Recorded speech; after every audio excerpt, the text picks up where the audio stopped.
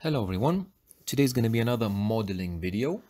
Uh, the purpose of this video is to show you a way how you can check the actual in-car frequency response of a driver that you physically do not have.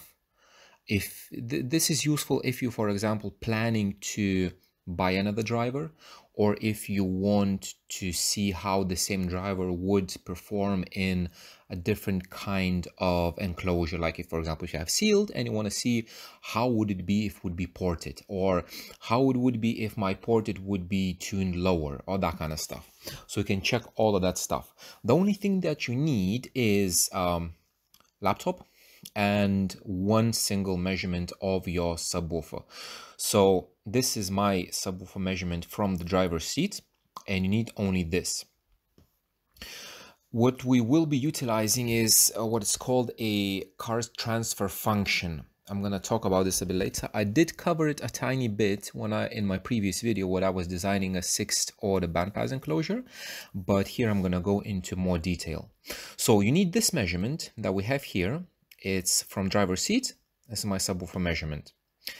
Now uh, we will be using this program, which is called uh, here in the corner, uh, VituixCAD.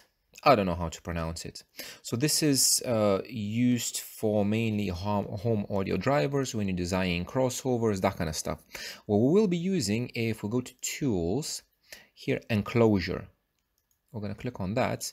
And this is the window that helps us to design enclosure. So this is almost exactly the same as WinISD.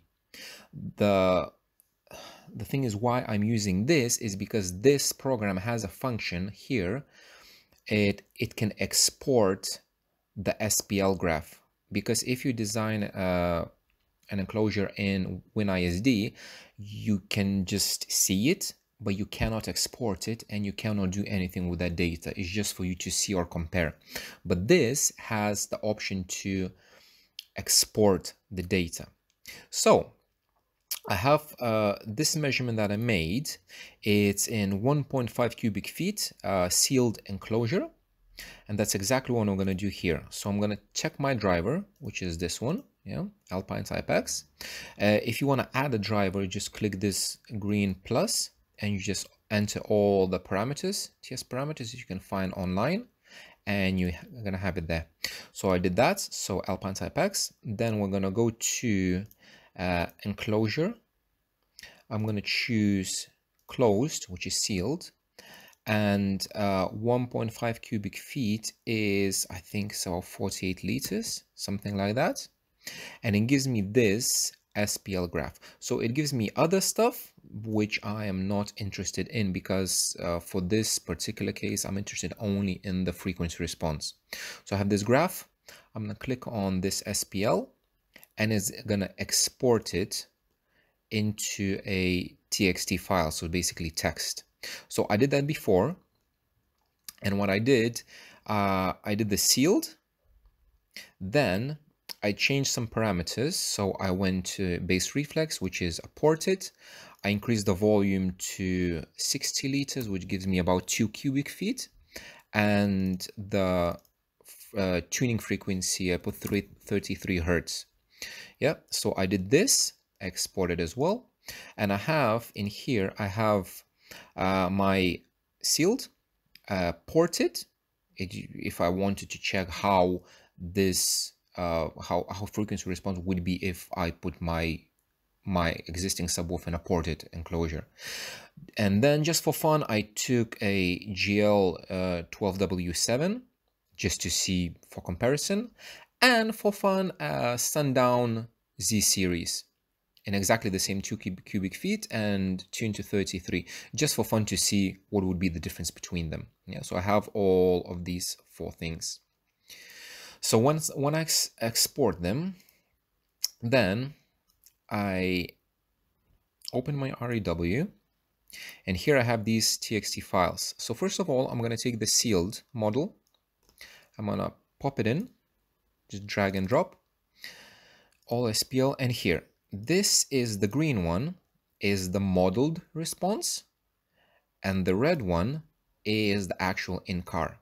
And what I'm going to do is I'm going to go to controls, trace arithmetic, and then I'm going to take measurement A, the in-car response, measurement B, the modeled response, and I'm going to divide A and B. I'm going to generate, and here at the bottom, this blue line is what I'm going to call, sorry, transfer function. So this is basically, if I have this response and I have another modeled response, I can see how the final response from driver seat is going to be. Because basically this is how the car itself changes the frequency response of the driver. So if you would have a driver that is totally and absolutely flat let's take for example this 45 mark and it's going to be like a flat line from 0 hertz up to whatever so like ideal in ideal world ideal driver. And if i'm gonna have the driver that plays totally totally flat and i'm gonna put it in my car this blue line is gonna be the actual frequency response from the driver's seat. Yeah? So this is my transfer function. Now i'm gonna add some more. So i'm gonna add the Alpine uh, in 2 cubic feet ported, which I did. I'm going to add the JL and I'm going to add the sundown as well. Cool. So we have all of these. So these are all of this. Yes, I'm going to remove this so we can very quickly compare them. Yeah. So uh, the this line is the sealed Alpine. The orange one is Alpine imported. So you can see there's a hump, a bit more output, and below like 18, it goes down. Okay. Uh, the light green is JL and the blue is the sundown. So sundown is very peaky. It's an SPL sub. It's just for fun. If I would want to go to SPL side, if I want to change sides, how it would look like. So these are these uh, modeled versions. And now what I'm going to do is I'm going to take the same trace arithmetic and I'm going to take my transfer function and I'm going to choose. So first I'm going to choose the Alpine imported. And what I'm going to do is A times B. And I'm going to generate a frequency response. And this, so now I'm going to remove all the modeled responses because it's going to free up the screen. There we go. So the red one is in sealed, what I have now. And if I would have the same driver in a ported enclosure, if I would change the box, this brown one would be exactly the same driver in the ported enclosure. Yeah. One big, big, big thing to note is this transfer function that we did is dependent on location. So if I have my box behind the seats, this is gonna be behind the seats. If I'm gonna have my driver uh, in the spare tire well, this function is gonna be different. Yeah. So this is behind the seats in this particular case. Okay, so that's Alpine X. Uh, let's go for JL. A times B again. That's JL. So don't look at the dB value because this is it's, it's not maximum SPL. It's just the shape of the frequency response. Okay. And I'm going to choose sundown and I'm going to do exactly the same generate. Yeah. So it's a bit crowded. Let's enlarge it a bit and we will see. So the red one, yeah, is sealed And as you can see, sealed has, as everybody says, the flattest frequency response. Eh, it, covers the widest range and it's less peaky. Yeah, everything else ported, you have a peak and like here, it it's it's a steeper slope that goes down. So let's remove the sealed. And now we have a brown alpine and teal or green would be JL. And as you can see, it's very similar extremely similar response, just uh, different dB level. Yeah.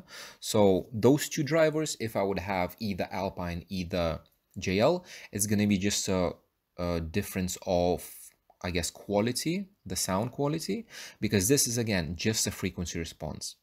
And if I will take um, the sundown, you can see sundown is extremely peaky.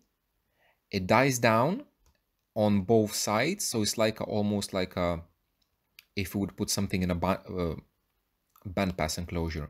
It's peaky and narrow, but it's it's typical of an SPL. So if I would want to, for example, change my current sealed Alpine into a sundown, if I'm going to do that, sundown port it, that would be the difference of the frequency response that I would get okay? So this is a very actually it's a very very easy way to check whatever you want. If you want to try a new driver if you're planning to buy a new driver and you don't know how it will perform this is exactly how you do it. You model it just enter TS parameters. You put whatever box you want volume tuning. If you're doing uh, ported you can go uh, closed. You can try infinite baffle, you can do whatever you want. Just do the model, import the model into REW, and through, oh, sorry, through controls, trace arithmetic, have that transfer function and just A times B and it's going to give you a frequency response. Again, it's not going to be a hundred, hundred percent accurate, but I guarantee it's going to be at least 95% accurate. If the location is the same. If you change the location, you just need to take another frequency response. So you don't need a big massive subwoofer to uh, check the transfer function of the car. You can have a small, tiny, like 8 or 6 inch in wherever you want, in a corner of the car or in the um, spare tire well, and you just take that measurement and you do your transfer function as long as you have the TS parameters. Yeah. So uh, I find it very useful if I want to model how any driver behaves or if I would want to change something, how it would be. So I hope it helps you as well. And I'll see you in the next one. Thank you.